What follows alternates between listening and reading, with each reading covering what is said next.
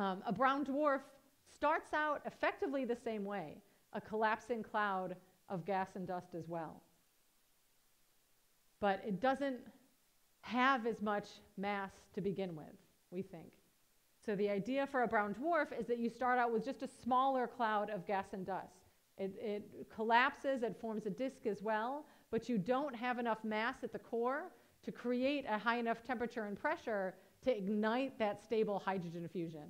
Um, I, I, sometimes use the analogy that it's kind of like a car turning over, a, a, a gas-powered car turning over. I realize that my analogy is going to be outdated eventually.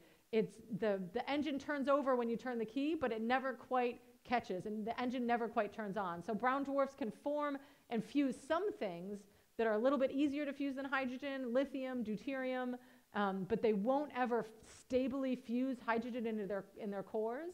So they won't ever create their own energy like a star does. They just kind of cool and fade with time. And so you can see they become kind of dark and stripy, um, and they're, they're out there in space.